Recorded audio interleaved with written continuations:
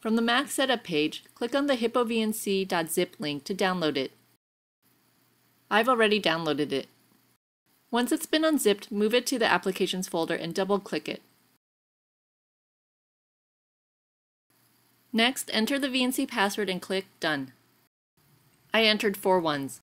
Notice that Hippo Remote detected the server, so tap on the name and enter the VNC password. That's it, now we're connected. An optional step that we recommend is running Hippo VNC as a system service so that it's always available.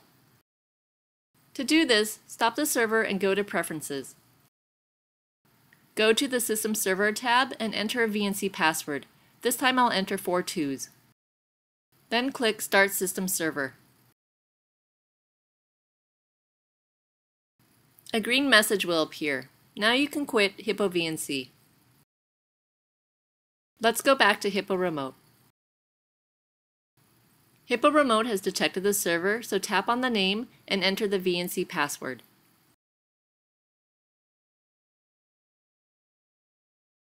Now we're connected. If you're always going to connect to this computer with Hippo Remote, you might want to enable Auto Connect. To do this, tap Settings and turn on Auto Connect.